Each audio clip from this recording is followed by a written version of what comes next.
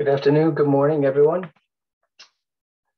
I am going to try and get the video uh, to work, um, but we're going to start in just one minute.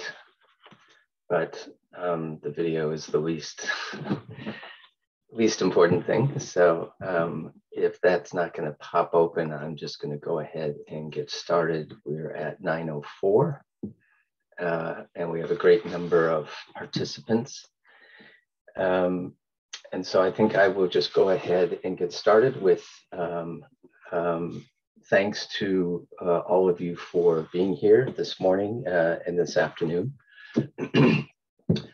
uh, this is our, as you can see, evidence to action webinar uh, focusing on uh, Lesotho and the just remarkable uh, accomplishment of the government of Lesotho, the Ministry of Health, uh, and many other uh, partners. And that's what we're focused on for the next hour um, and their achievement of the UNAIDS uh, 90-90-90 uh, targets by 2020. Uh, um, my name is Chip Lyons. I'm the president and CEO of the Elizabeth Glaser uh, Pediatric AIDS Foundation.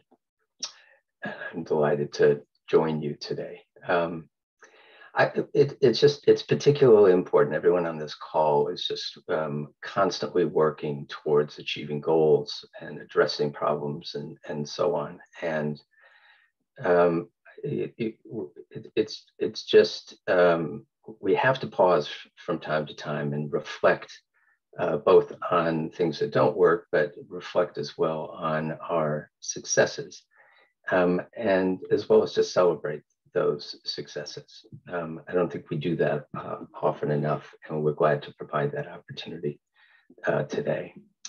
Um, this milestone in Lesotho um, is uh, very much a testament to partnerships and the power of those uh, partnerships that bring governments, communities, health organizations, donors together around common goals. Uh, that is how EGPAF works. EGPAF is proud um, to work alongside the Lesotho Ministry of Health, uh, alongside PEPFAR, CDC, USAID, uh, communities, and others as we keep uh, pushing and fighting for an AIDS-free generation of Lesotho um, around the continent and around the world. As you all can readily imagine, getting to 90-90-90 was no easy task. Um, and SUTU's ability to adapt services and to innovate approaches to meet the specific needs of children, youth, families impacted by HIV and AIDS has made all the difference. What we have to do is uh, capture this experience and apply these learnings more uh, broadly.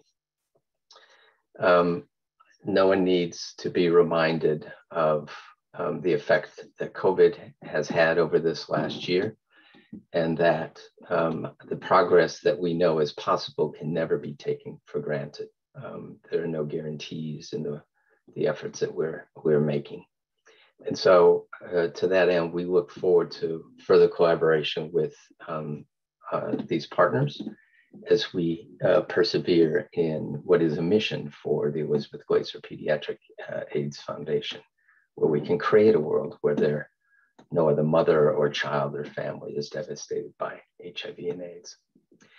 Uh, I will quickly just introduce the panel and then I'll turn it over to uh, Ts'epang. It's a very uh, impressive, knowledgeable uh, group of speakers um, who have been the leaders in uh, Lesotho. Um, Ts'epang Mohlomi is the EGPAF Lesotho country director. Uh, Ian Membe is the USAID deputy country director. Dr. Esther Tumbare is the technical director for EGPAF in Lesotho. Mamello Sekese is uh, EGPAF's project director. Dr. Lucy Mapota is the, uh, with the Ministry of Health, representing the Ministry of Health um, for Lesotho.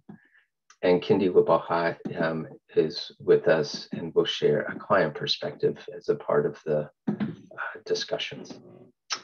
Um, I think by now everyone is super familiar um, with the ins and outs of uh, Zoom meetings, please use the chat function to raise questions so that they can be brought forward uh, and discussed.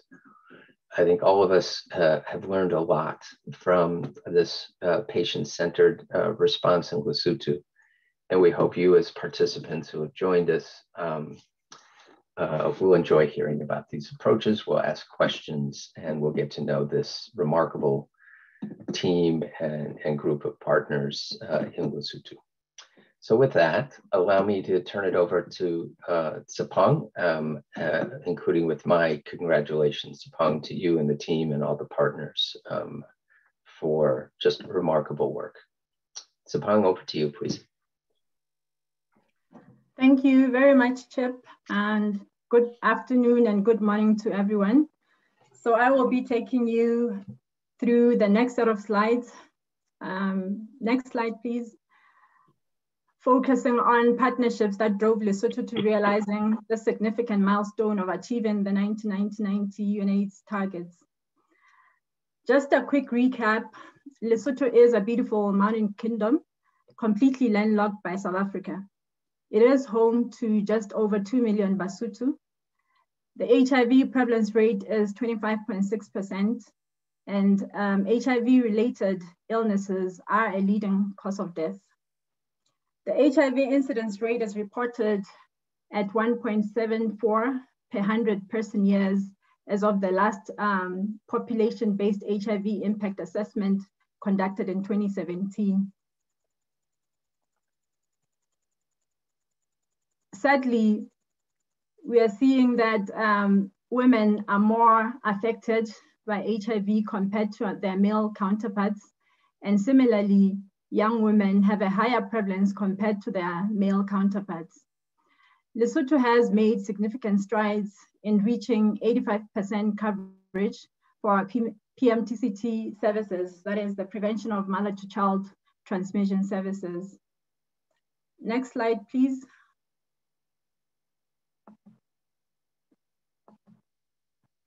Since opening its doors in Lesotho back in 2004, EGPAF has enjoyed a great relationship with the Ministry of Health as the custodian of the health system.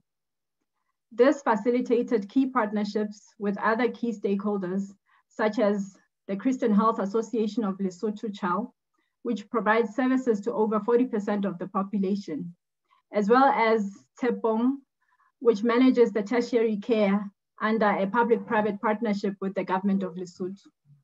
This great experience enabled EGPAF support to filter through from the Ministry of Health national programs to district health management teams, as well as further down to facility managers, where our teams work side by side with the Ministry of Health, CHAL, and Tshepong staff. Through the years, the ministry has ensured an enabling environment through its flexible and strategic leadership that are adapted to favorable policies, guidelines, and protocols for quality and patient-centered health and HIV services to Basotho. Next slide, please. Without the generous support of our donors and development partners, EGPAF's support to the ministry would not have been possible. And for this, we are forever grateful. Our biggest source of funding in Lesotho has been through PEPFAR, both through the USAID and CDC. This support enabled us to jointly, together with our consortium partners, deploy over 1,400 staff that work side by side with the Ministry of Health, CHAL, and Tshepong teams, while also building their capacity. The presentations that will follow from my colleagues will provide an array of very interesting initiatives that were implemented through the PEPFAR support. EGPAF has also enjoyed support from other donors, such as the in-kind support from the Global Fund, um, where we support the workplace programs.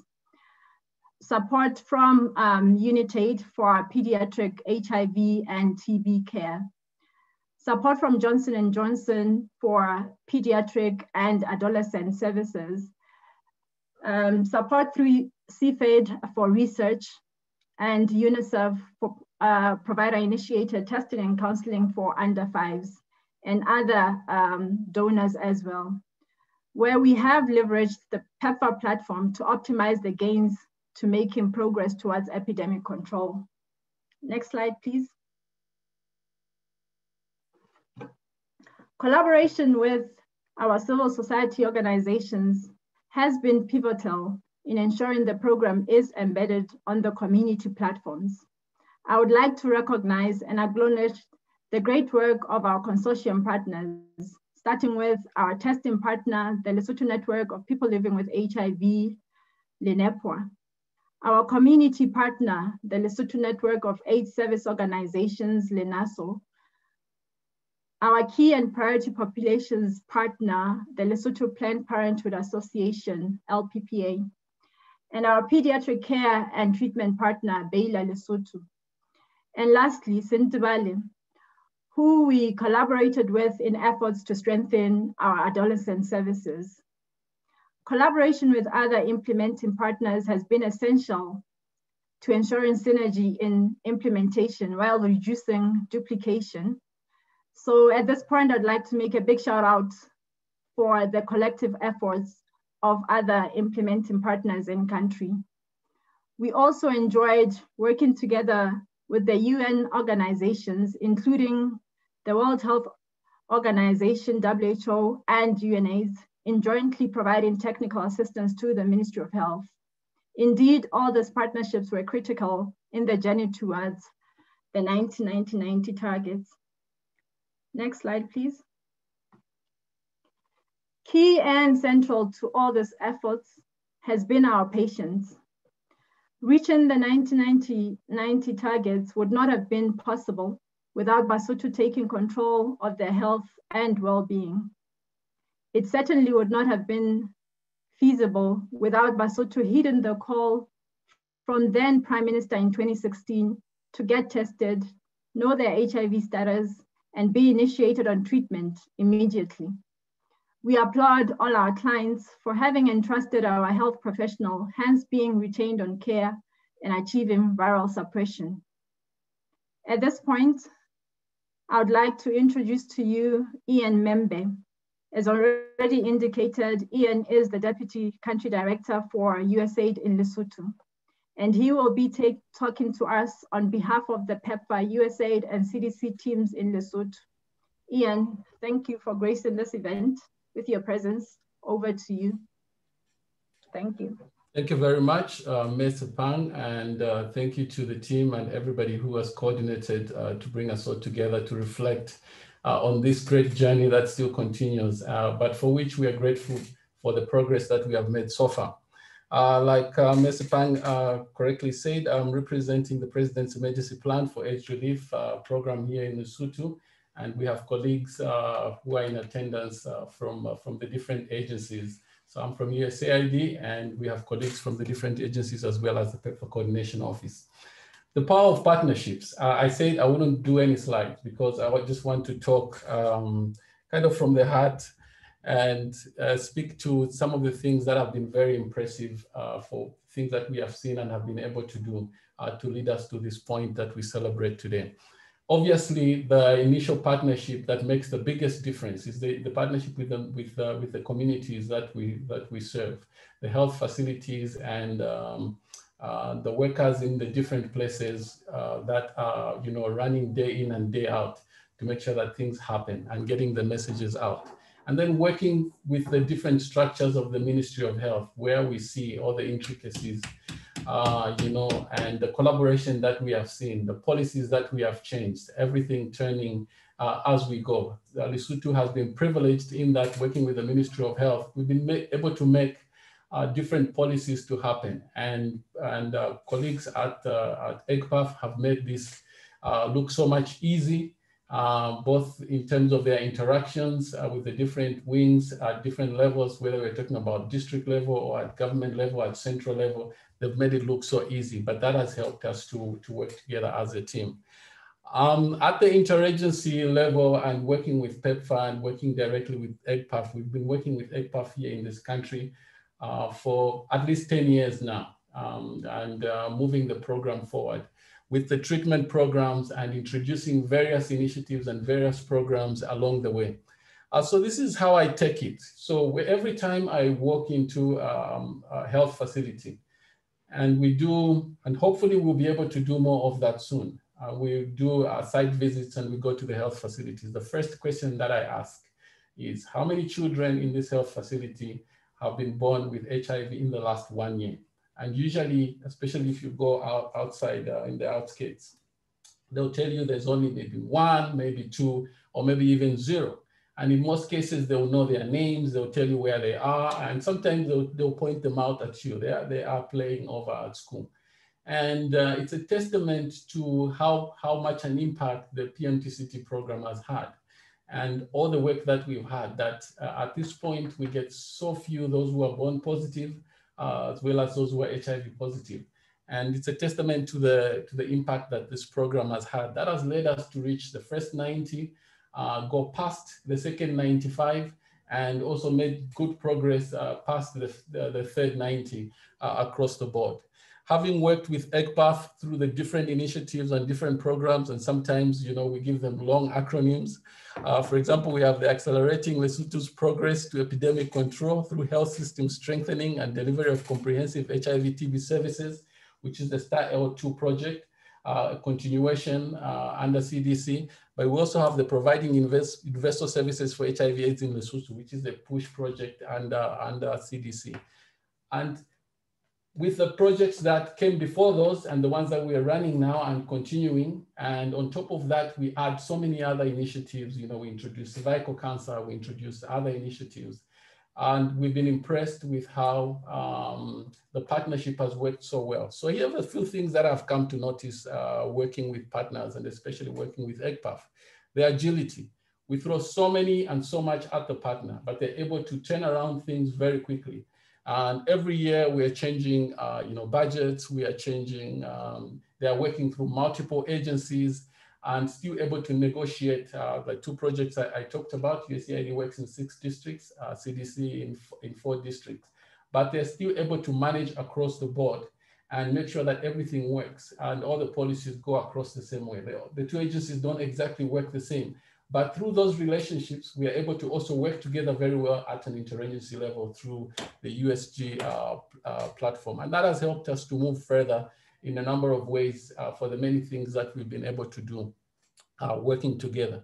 So really we have seen uh, great progress and uh, also working across partners, like Mr. Pang has said, we have sub-partners and a big push now, you know, as we think about, we are reached 90, 90, 90, and we've reached 95, 95, 95. We're solidifying our program and ensuring that we are moving towards uh, sub-partners and local partnerships and capacity building in those directions. And EGPAF has been first to ensure that we move some of the activities to mothers to mothers, to Baylor, for those uh, local partners to begin to take on those initiatives. And they do mentoring at the beginning, and so those partnerships become the, the, the, the, the strength and the backbone for how this program moves forward. And we have hope that these partnerships uh, that have been forged, as well as those that continue to happen because of this, are building us to a future that is sustainable for the HIV AIDS program uh, here in Lesotho.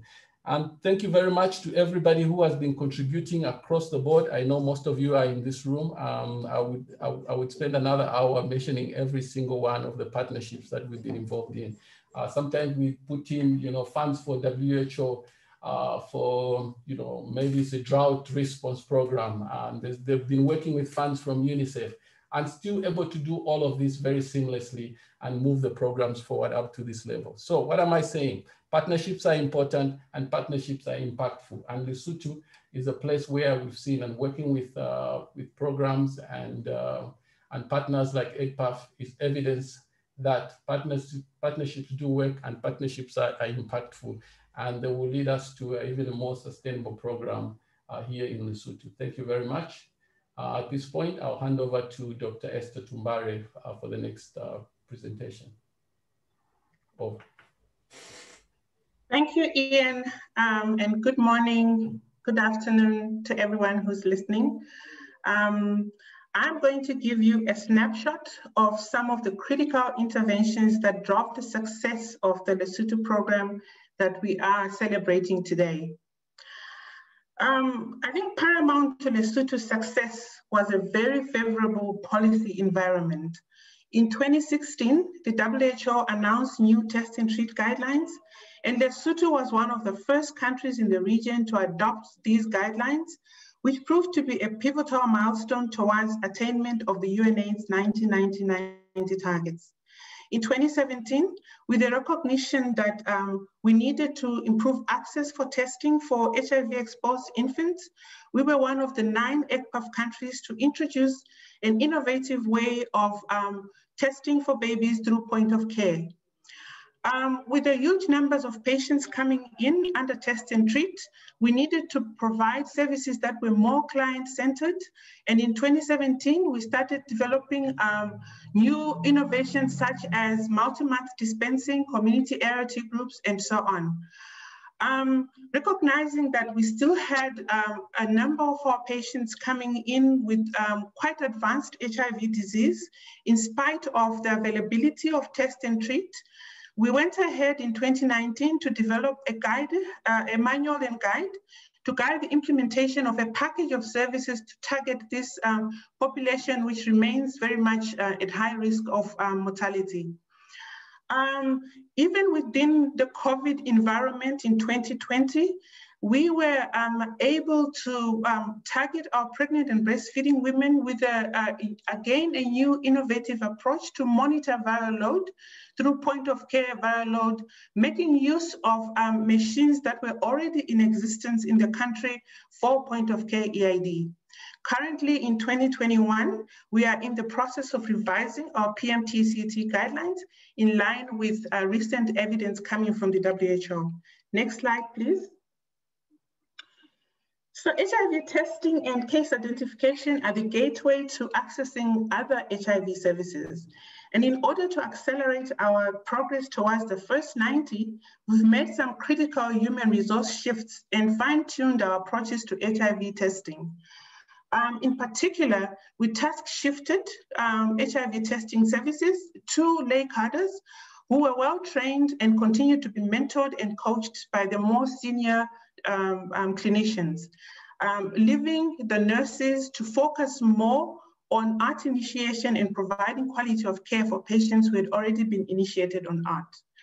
We also um, provide, um, uh, put on some innovative approaches to ensure that all the patients that were coming to health facilities did not go away without knowing their HIV status, and therefore placed um, lay counselors at all service entry points um, at, at all the health facilities that we supported. Index testing and partner notification was also added with the recognition that um, HIV is obviously passed on from uh, one person to another or from one person to several people. And uh, being able to identify all these people is really critical in terms of um, approaching the 90-90-90 targets.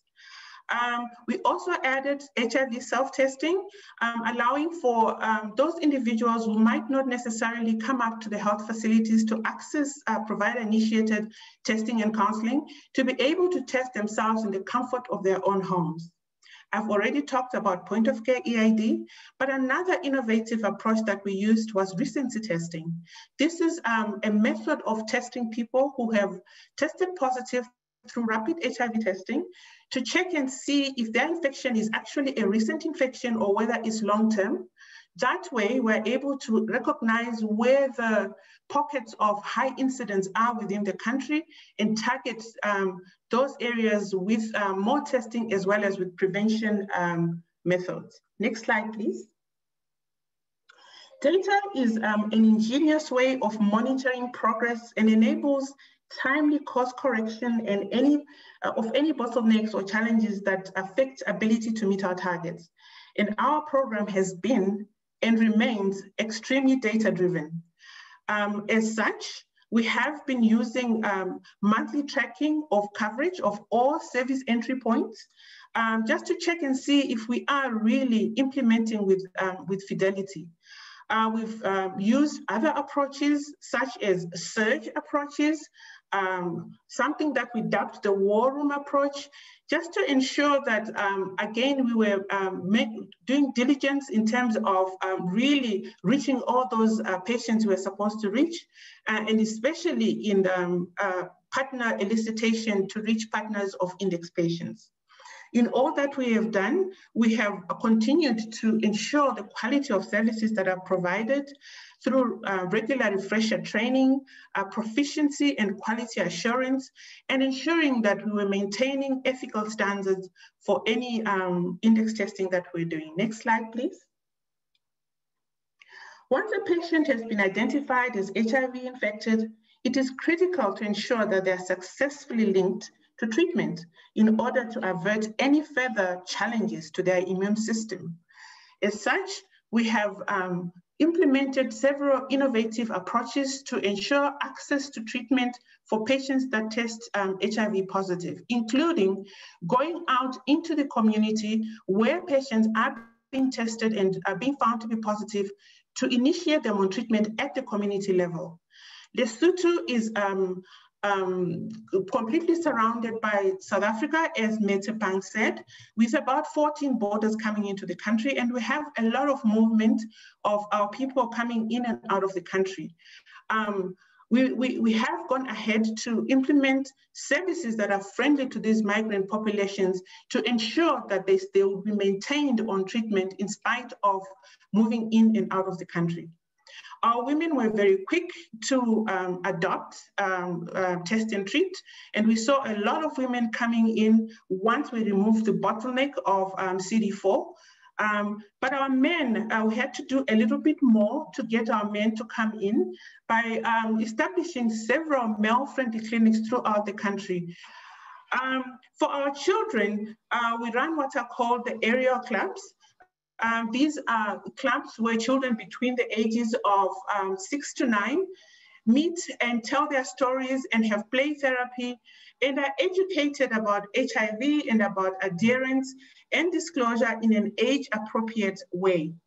We also have our adolescent corners and run youth camps during the, the holidays when our um, adolescent patients are not at school and have even gone ahead to tertiary institutions to ensure that um, the young people who are in, um, in, um, in college and university are actually accessing HIV testing and prevention services. For our key populations, we have done what is called moonlighting, taking mobile services out during the night to hotspots where key populations frequent, again, just to ensure that we're carrying everyone um, with us um, um, to reach the 90-90-90 targets. We also have a huge factory workplace um, a program in the country. Um, Lesotho has a big uh, textile industry and uh, um, is a source of income for the country. And these people at these factories don't often um, um, often find it difficult to leave their work to go and access services at uh, public health facilities. Uh, and with this in mind, we have, um, with support from um, Global Fund, used uh, mobile clinics um, to go to the factory workplace to ensure that we're bringing services to them and they can just come out at tea time or lunchtime or take a, a quick uh, 15 minute break to come and access HIV testing at initiation prep any services that are need that they need that are HIV related. And with all these interventions, we had a rapid increase in ART initiation between 2017 at the start of test and treat, um, um, up to now when you are, we are now celebrating attainment of the 1990 targets. Next slide, please. So this slide just um, basically shows you all the um, great progress that has been made over the years. Not in terms not only of um, case identification of patients living with HIV, but also with uh, great linkage rates of over 100%. Uh, we had a lot of patients who had tested pre-test and treat, who were pre-ART patients, who also came in after we announced to um, the public that um, ART initiation was now open. You did not need to have a low CD4 count to be initiated on treatment. And um, this is the great progress that has been made um, that we're looking at today. I will now hand over to Dr. Mamello, who will um, talk to us a little bit about how we've managed to maintain these patients on treatment and keep them in rotation. Thank you. Thank you, Dr. Esther. And I will be taking you uh, through the slides on DSD models towards retention and viral load suppression. Before I go much into detail on the subject, I will also uh, touch on the intervention whereby we were able to enhance the quality of care. And this was done through uh, revamping the filing and data systems that would enable us to monitor patients better. And uh, this was done through introduction of the electronic registers, which are currently running in, a, in 178 sites um, in country, of which 173 have a shared health record. And currently we are able to report, uh, 50 sites are able to report uh, directly from these e-registers. We have also adopted a SIMS model, uh, program optimization, as well as QI projects, quality improvement projects. And these are in, uh, uh, um, systems that, enable, that enable us to make sure that our program is actually of high quality. We also use uh, the SMS and the mHealth uh, technology to assist us in patient tracking. Um, we use this application to enroll all PLHIV, and this enables us to uh, follow up with patients to ensure that we send them SMS reminders three days prior to the appointment date. And if a patient misses their appointment, they are able to be sent an SMS to remind them that they have missed their appointment. On uh, patient missing, completely missing their appointments, we are able to uh, pull out the names of patients who have missed appointments, and therefore this list are used uh, by the community partners to ensure that tracking is done. So we'll also uh, continue to implement uh, the guidelines and treating of patients with advanced HIV um, disease, whereby we have uh, fully integrated the care for comorbid, comorbid diseases such as uh, TB, um, cervical cancer screening, and its management. We have um, also ensured that our patients are actually on optimized regimens, whereby we have adopted um, DTG-based regimens, as well as ensuring that our children are more are on um, better formulations such as uh, lopinavir, ritonavir um, pellets. We are continuing to scale up our viral load uh, moni monitoring through innovations such as uh, point of care, as Dr. Esther has already highlighted in the previous slides.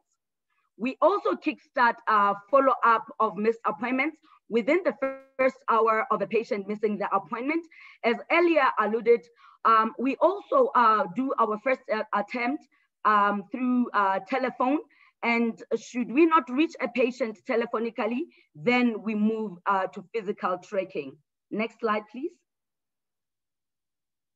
Now, uh, going into detail of the DSD models that we are currently implementing in current in, in country, we have used this model basically to ensure that PLHIV are served better, as well as to reduce the burden on the health system.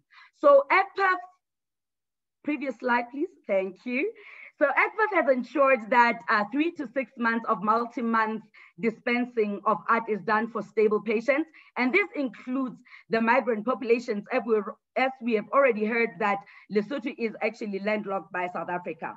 We also have our community partner ensuring that there is establishment of community art adherent support groups. And this serve as a, a, um, a support system to our patients in the community to ensure that they all adhere um, to that treatment and that they are also able to support each other in ensuring that they take that treatment well and as well as minimize the costs of transport in going to the facilities as one of them presents for follow-up and doing a drug pick-up for the other members in the group. So um, we also do extended uh, clinic hours whereby we ensure that uh, we enhance viral load monitoring and drug pickups, especially for the working class as well as school-aged uh, children. We have uh, integrated community outreaches that are run by the facilities that are supported where teams of clinicians as well as community partners go out um, to ensure that there are drug refills, testing, as well as other services being provided in the community. We have also kickstarted um, community art delivery, whereby we are able to make sure that we deliver ARVs during outreaches as well as in the homes of our patients through home drop-offs.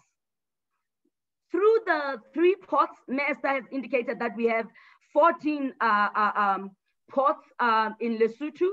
Three of those ports are able to integrate TB, HIV, and COVID-19 uh, services so that we are able to reach all our migrant patients as they go through these uh, borders. We also have a welcome back uh, to uh, care package. And this is basically designed for patients who would have defaulted their care. And this is whereby we have our clinicians, like the psychologists, ensuring that they provide counseling for patients who would have been returned to care. And if there are any other social issues that uh, may hamper or hinder uh, them from adhering to treatment, they are referred to um, social workers um, that are actually providing services in the communities.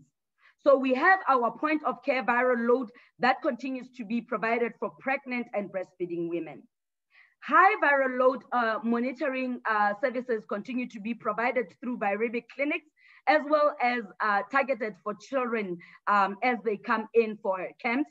And these are models that we use together with uh, the partners that we are working with. We also have uh, strengthened our treatment literacy, whereby we continue um, to make sure that our patients understand the U equals U messaging, whereby we, um, they are informed that when their viral load is undetectable, that means that they cannot transmit their virus to uh, their partners. Next slide, please. At this juncture, okay, at this juncture, we will look at um, the data slides whereby we will look at a first look at the multi-month coverage that we have had for both adults and children. And uh, we can see from the slides projected that we have come a long way and uh, significant strides have been made in this regard. As of um, FY20 Q1, which is September of 2019, we have been able to start at a low 46% coverage for adults and we ended at 86% uh, in um, September of 2020. The same picture um, is observed for children, whereby we started at a low MMD coverage of 6% in FYQ1 and ended at a high 53% at FY20Q4. Next slide.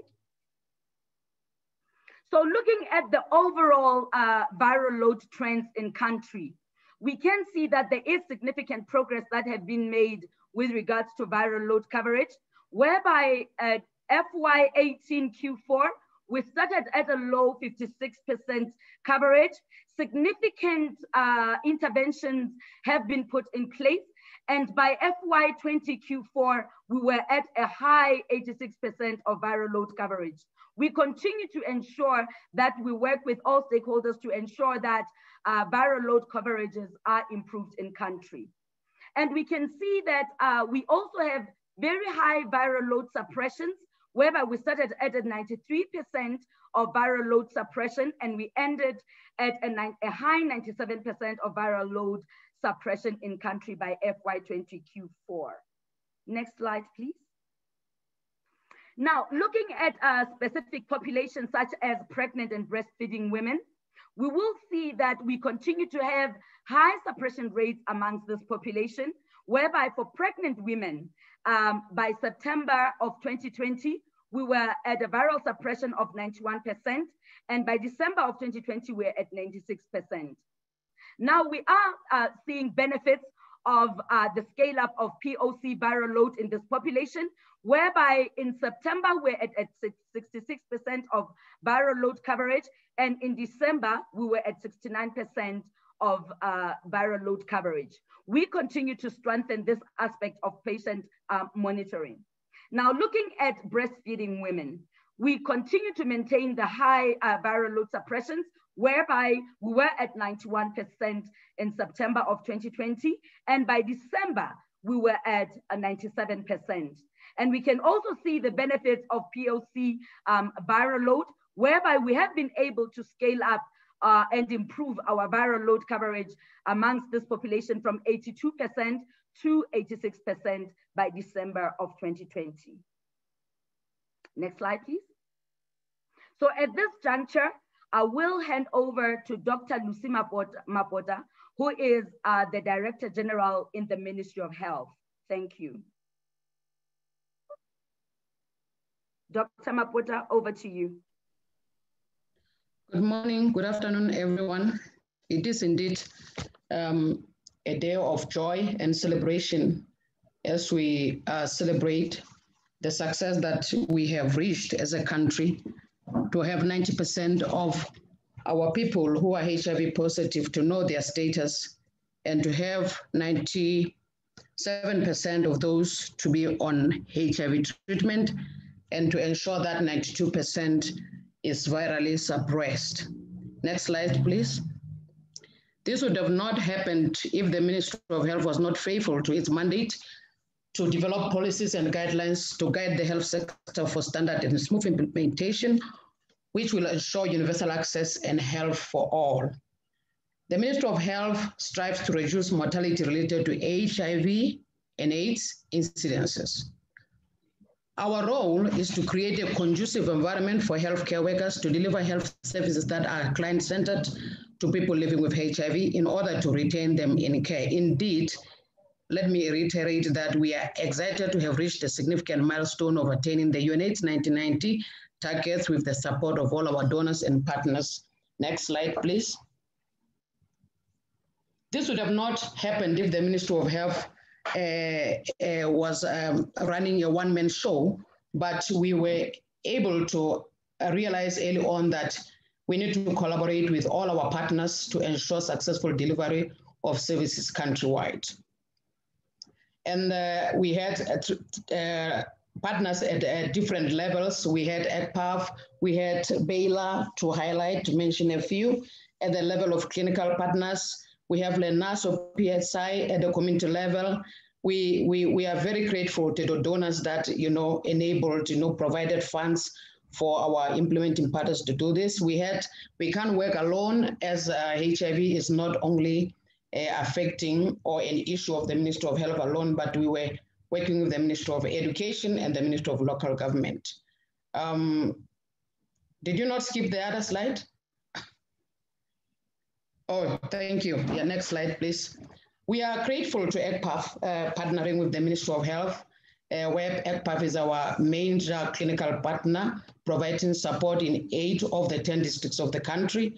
We have been supported uh, by EGPAF in the fight against HIV since the year 2004, and this has enabled us to achieve these targets with uh, the LePHIA preliminary results that we have just received or um, um, that show that we are at 1997, 92% achievement of the targets. Um, indeed, most of the work was done through collaborative efforts by different uh, implementing partners, uh, staff with the Ministry of Health across all levels. As I have already mentioned, uh, nationally, district level, community, and all other sites, and especially at the ART clinics where HIV client center services are provided to all people living with HIV. Without the support of community partners, as I mentioned, Lenaso and PSI, we could not be able to achieve all the 90s that we have achieved at the, at the facility level. We would also like to recognize the significant role of our community partners for tracking our defaulting clients and returning them back to care.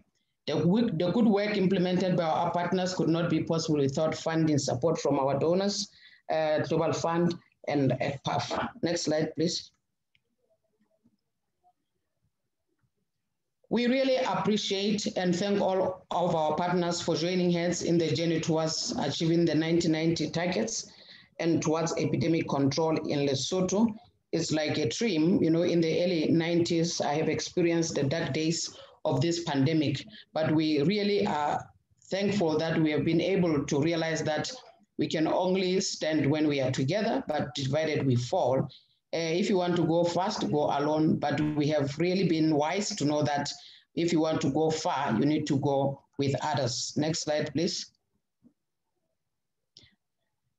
To have reached this epidemic control, it is not all work, all work done. The Ministry of Health seeks to focus on mitigating the negative impact of COVID-19 to protect the gains that have been made on HIV indicators to date. With the mature with the mature HIV epidemic, the Ministry of Health is ready to address key HIV comorbidities such as TB, which is also the leading cause of death for patients living with the, uh, uh, living with TB and also with advanced HIV disease. Cervical cancer screening and treatment efforts are also a key priority for the Ministry of Health as a significant contributor to the burden of disease in women or of childbearing and reproductive age. Continuous move collaboration with partners to plan for a gradual transition that ensures successful sustainability should not be an option, but rather essential to protect all investments and the tireless efforts made towards realization of the 95-95 goals for 2030. Next slide, please. Before I thank you, let me introduce Kindy, who will actually be sharing her journey as she received uh, our services She's the beneficiary of our services. So Kindy, let me um, hand over to you. Thank you. Thank you so much, Doctor. Good morning and good afternoon, everyone. I would like to use my, my nickname Candy. I was born in 1997 and I am 24 years old. I am living with HIV and I am a single mother of a 16 month old baby. I got tested at a health facility and found out that I was positive in 2005. I was 18 years old. I mean, eight years old, sorry. It was only then when my mother disclosed to me that I was born with HIV and that she is HIV positive too. I was shocked. I was shocked that she knew and she never disclosed to me. My status, but because I was still young, I took it easy. When I was in high school, I experienced stigma and discrimination, which hurt me and made me angry at my mother, wondering why she didn't tell me about, I mean, why didn't she use PMTCT to protect me from the virus? When I was Sure, sorry. When I asked her, she cried and told me that there was no PMTCT until 2002. From yes. From 2017, I've been accessing youth-friendly HIV services from the Filter Clinic. The services are offered by young and friendly healthcare workers without judgment. I joined peer support group in the same year. Before I thought I was the only child living with HIV, but at peer support group, I met some young people living with HIV like myself. As members of the club, we were free to share our experiences and challenges as well as solutions for living with HIV. I learned about treatment adherence and viral load monitoring. We were we all know that if the viral load is undetectable, you will not transmit the virus to our loved ones. We learn about disclosure and taking care of our loved ones and ourselves too. Next page, please. In 2019, I was expecting my first baby. She is now 16 months old. I always visited clinic and my baby was delivered in Scott Hospital. I adhere to my treatment and my viral load has always been undetectable. Because it's undetectable, I did not transmit HIV to my baby. After six weeks, my baby was tested for HIV and she was negative. She tested again at nine months and she will be testing again at 18 months. Right now, I am given three months of drugs to reduce regular visits to the clinic. I never forget to take my daily dose because my treatment is my life. My ARVs were changed and I am now taking DTG, which I was told they were the improved drugs. Next page, please. As a beneficiary, I would like to thank all our healthcare workers, especially the adolescent corners. Their friendliness ensured we did not miss our appointments nor treatment. When we are healthy, our next generation will be too. Today, although I have HIV, I have a baby who is free from HIV. AIDS-free generation is a reality. Let us join hands for a hate, for AIDS-free generation. It starts with all of us, not only healthcare workers, but all us people with living HIV, with HIV. Thank you. Thank you so much, um, Kindy, um, for sharing your life journey with us. We are glad um, to hear the story about your bundle of joy and hopefully she continues to grow well. So at this point, um, allow me to um, say a big thank you to all our presenters and um, allow me to then move on to be your moderator for the Q&A session. So we'll turn it over to our audience. And um, the guidance has already been provided in terms of how you should um, maneuver getting the questions to the panelists. We have been um, receiving um, some questions, so we do encourage that everybody um, participates. You have um, the Q&A box we will be answering all the questions as they immediately come to us through the Q&A box. Um, if you opt to ask your question verbally, please ensure that you raise your hand and we will um, unmute you when we are ready for you to pose your question. And for those um, that have joined through the phone, please um, ensure that you click star nine to raise your hand. And again, um, we will let you know when you should pose your question.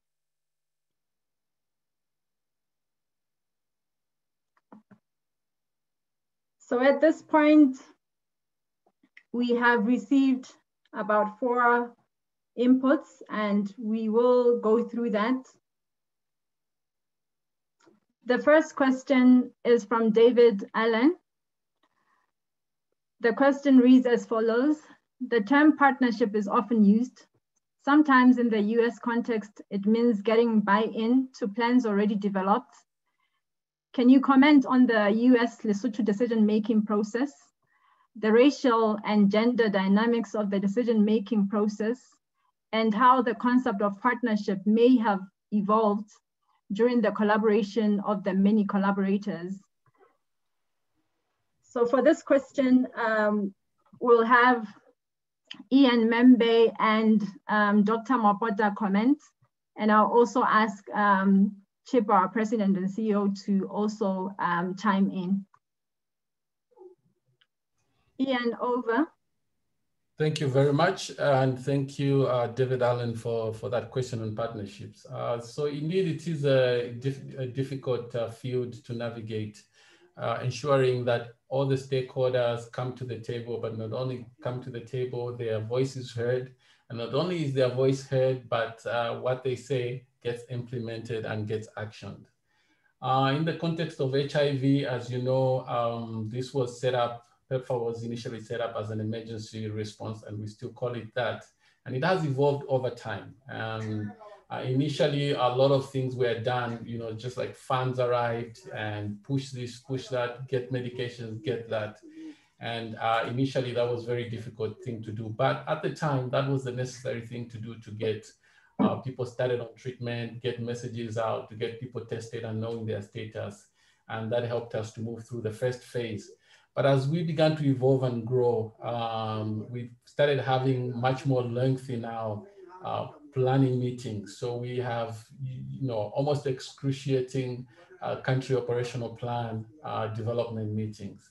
They will last not a week, not two weeks, uh, a few months at least.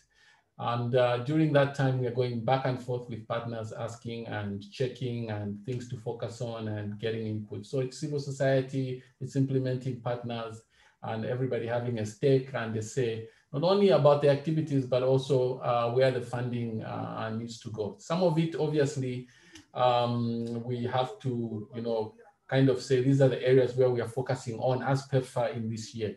But within that, we agree with the ministries and ensure that things can happen uh, very quickly. So we wouldn't be able to implement those things uh, without, uh, without an effective partnership working. Over.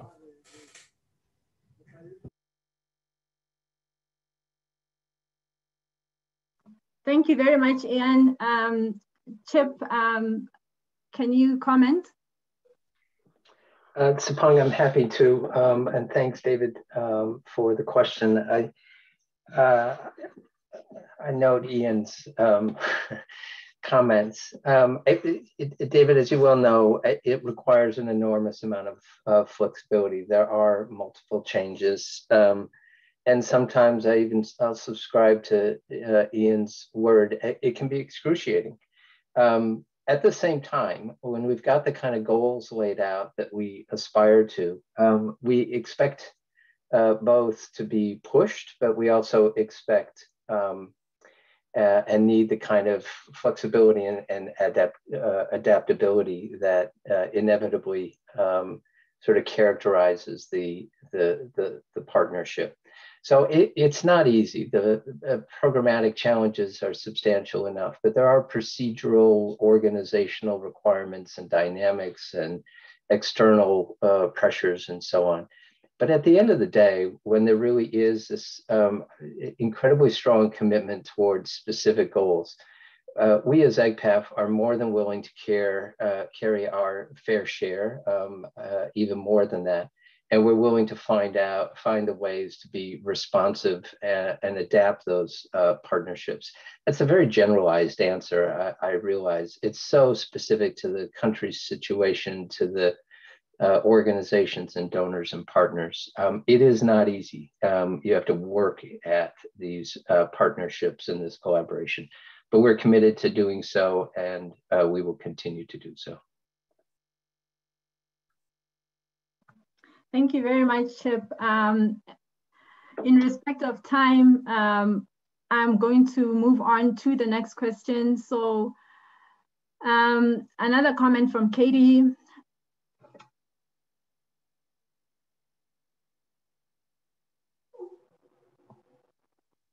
Um, great work reaching 90-90-90. Can you talk a little bit about how you are shifting programs beyond uh, multi-month dispensing to ensure we are keeping progress through the pandemic. Um, Dr. Esther, can you take this question?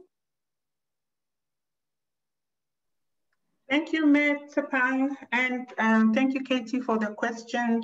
Uh, we are definitely um, going beyond just multi-month to provide services that are more client uh, focused. Uh, in particular, we are moving more into the community to um, allow for patients to access their treatment closer to home. Um, there's also uh, a differentiated drug delivery um, that has just uh, started being piloted towards the end of last year, where um, there's lockers where patients can come in and pick up their drugs um, and so on. We also do deliveries at home for patients that are, um, find it difficult to, don't have transport and so on, uh, need. Um, so there is um, quite a, a, variety of uh, innovations that we are doing to make our service uh, our services a whole lot more client-centered. Thank you. Thank you so much, Dr. Esther. Uh, moving on to the next question. Um, so an input from uh, Mema Maswati Kopeka. Thank you so much, Kindy, for sharing your story. It is truly inspiring and to the team for the amazing work that you're all doing. Um, I have a question in regards to the use of mobile clinics to reach individual, individuals at their workplaces, primarily textile factory workers. Are there ways in which individuals who test positive are linked to their primary health care facilities? And how is retention in care monitored? Um, Dr. Mamello, can you take this question, please? Thank you, Mr. Bang. Um, so as Mayor indicated in the presentation, we have the workplace program.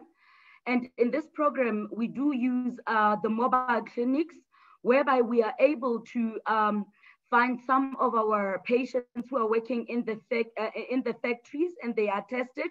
And in the event that uh, when a patient is tested, the, the clinicians or the, the counselor, which is a professional counselor, identifies that this is actually a known patient, um, the, the facility or the parent uh, site is actually called and the records of this patient are actually updated and this patient is linked back to the parent site.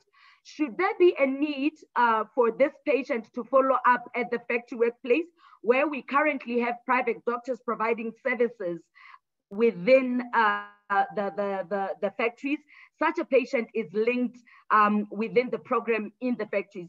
So um, the mobile clinics not only um, support um, the, the, the, patients within the factories, but they also are uh, used to leverage on some of, uh, to reach patients that are actually providing, uh, like vendors that are actually working around um, the factories that they serve. Thank you. Thank you, Dr. Mamello. Um, a question to Kindy from Claire. Um, Kindy, has switching to DTG as a treatment option improved your day-to-day -day life? Kindy, over to you. Come again, please. So um, the question is whether now that you are on DTG, you feel yes. that there has been improvement of uh, on your day-to-day -day life. Oh, yes. Okay, great. Thank you. Thank you, um, Kindy.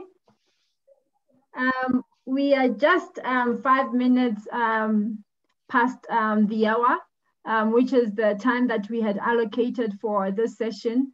We have been re receiving a lot of comments um, on our Q&A, and we will ensure that we respond to all the questions that have been asked, and they will be communicated back to the audience. Otherwise, as already indicated, the recording will also be shared.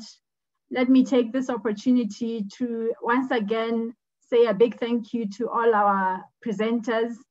Um, thank you to um, the organizers for facilitating this very important um, milestone for the Lesotho program. Thank you, Chip, um, for the continued leadership and um, affording us this opportunity to um, celebrate as a country. And um, lastly, the Ministry of Health, um, Ian um, on the PEPFAR team, Kindy for sharing your story with us, and to you all um, who were able to take time of your busy schedules to join in and um, hear from all of us and continue to learn together. We definitely will be getting back to you with all the questions um, thank you so much. All have a wonderful day, a wonderful evening to um, those on the continent. Thank you. Goodbye to everyone.